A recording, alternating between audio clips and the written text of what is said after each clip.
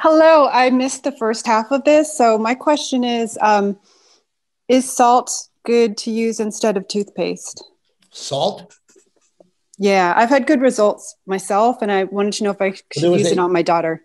To so you you wet the wet the toothbrush, yeah, so sprinkle a little salt. What's what's the um, so what are the benefits of, of, of salt? Salt is um, creates an osmotic gradient. So if the gums are inflamed, it helps fluids in the inflamed tissue to drain, right? We recommend salt water for a lot of things in the mouth and, and salt on the tooth. Here's the only thing that I have to say about that is that, um, especially for young children, there really wasn't a suitable product for young children, in my opinion, um, until I developed Revitin. And it's one of the you know, I was at Harvard Medical School in complementary and alternative medicine, and I came out of that program and I was like, toothpaste is garbage. It was flavored detergent for the mouth. It was invented by soap makers 150 years ago. And really, uh, a study from Japan I, I found in the 1970s found that the two ingredients that are most important um, for the health of the oral tissue is vitamin C and CoQ10. As a matter of fact, everyone, and Sarah's giving 15%. If I could get rid of every product if I could, if I had to get rid of every vitamin but one, it, it, the one I would keep in my medicine cabinet is vitamin C. Vitamin C, know, that's where they found scurvy and sailors on boats. They found it was a deficiency in vitamin C. But vitamin C is so important for the body. And this vitamin C, I actually developed this. This is a liposomal vitamin C, that liposomal delivery, a lot of absorption. So salt, I would really, I understand your your using that and you've been having good results in terms of cleaning it up, but you really want to kind of feed your children's smile, feed feed their gums. And that's where vitamins are really important. And that's why Revitin is basically a vitamin delivery for the mouth. Uh, excellent. Thank you. Thank you, uh, Dr. Curatola. And uh, up next, we have Steph O. I am going to unmute you. Hi, Steph. Hi, how you doing? Um, I'm I came late, so please forgive me if you've already addressed this. But recently, I've been um, brushing my teeth, and I noticed there's like my gums bleed when I brush my teeth, and I know it's related with cardiovascular issues and stuff, which I do have. So, what would, what would, what would your advice be to me moving forward of how to get this together? Yeah, so that's a sign of gingivitis, which which was a major thing that I talked about. A sign of it's the body's number one source of chronic low grade inflammation.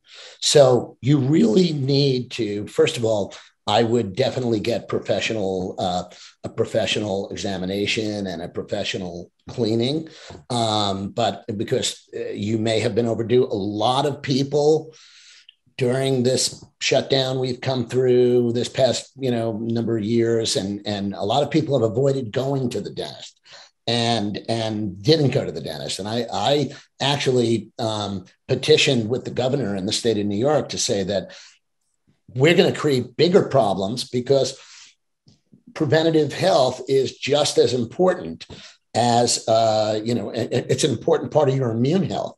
So I petitioned for for to open the dental the dental offices open before any other healthcare practice patients you know were staying away from the dentist their gums were bleeding they they were getting lots of inflammation so um, believe it or not revitin would help you as well because it's really effective in reducing gingival bleeding so um, get a checkup get a cleaning use a good home oral care product like revitin take vitamin c vitamin c is great for bleeding gums scurvy the gums ble- bled like crazy this is called optimal c and it's liposomal delivery. You just do a teaspoon, keep it under your tongue for 30 seconds or so, and swallow.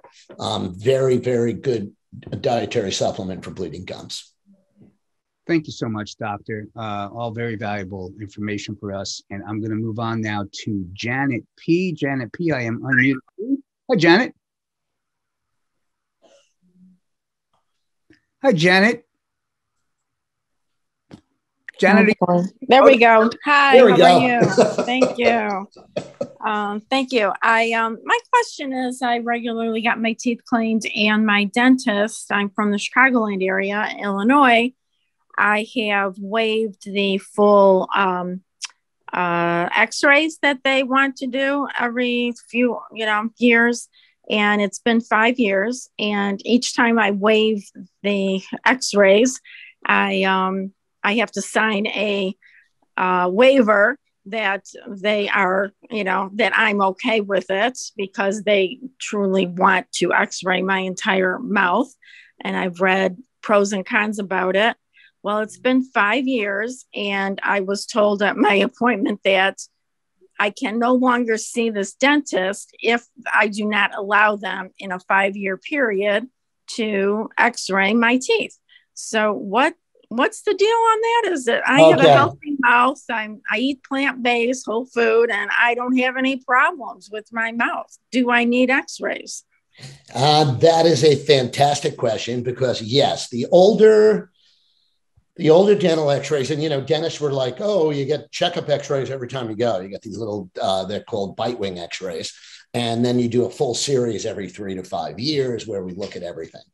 It's a bit of a dilemma because i'm going to tell you something that um, you know what you see above the gum is the tips of the iceberg and what's under the gum is, is a host of different problems. I often had a brochure of what is shown by dental radiographs tumors, infections, uh, fractured teeth, all kinds of things. So I am not a fan of dental x rays because ionizing radiation is cumulative. Now, digital x rays, 90% less ionizing radiation. So that's the good. Make sure it's a digital system when you get an x ray taken. I do not believe we use, my dental hygienist uses. So the bite wing x rays are to check for cavities between your teeth. Um, that may be forming. And there's other technologies we have now called transillumination. So we have a transillumination device that actually illuminates your tooth and you could see a dark shadow, um, which is better than taking an x ray.